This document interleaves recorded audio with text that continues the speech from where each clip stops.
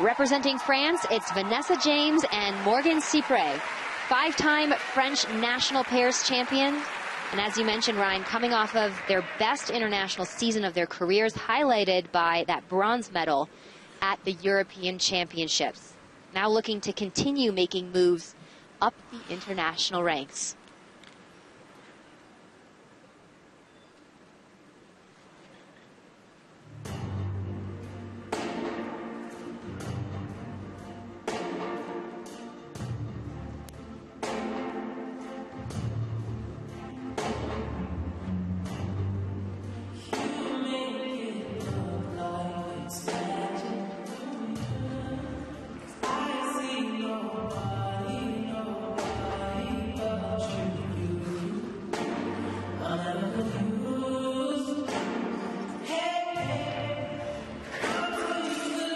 Opening triple twist. No.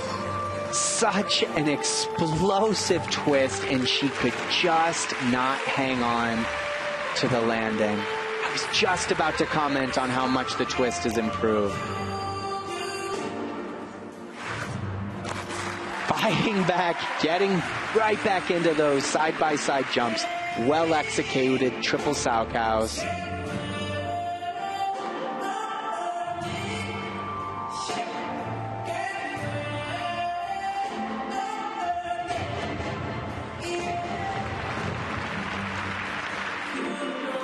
Throw triple Lutz. So important to be able to respond to a mistake with excellence, and they have done just that.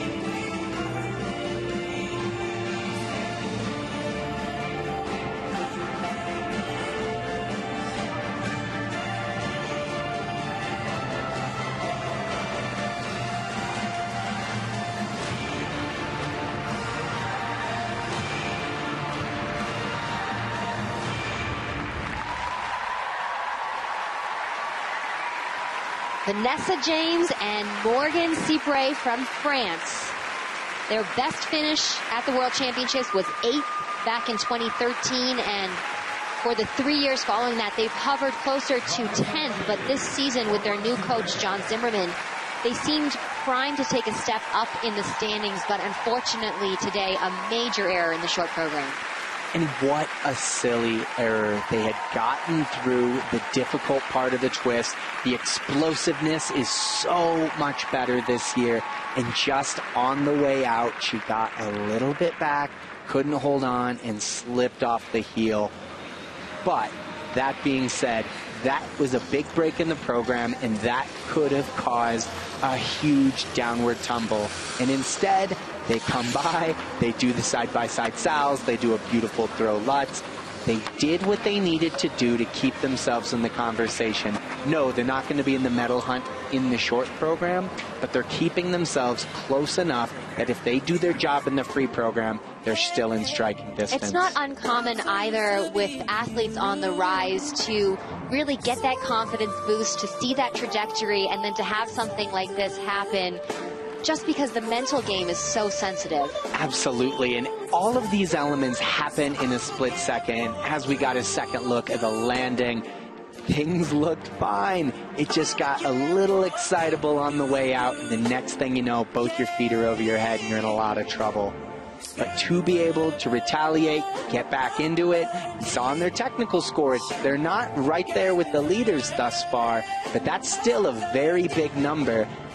The problem is, even though it was a fall on something silly like an edge, it was so close to the element that not only did they get the one point deduction for the fall, they also get the minus threes on the element that they've worked so hard to get those points back on. So that will hit them.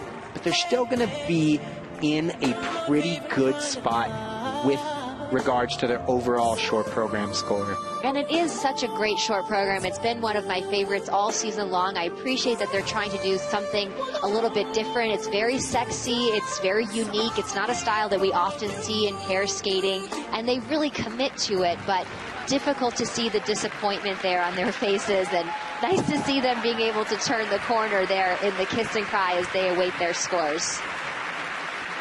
You don't see people reenact the mistake in the kiss and cry very often. no. Vanessa James, Sinclair.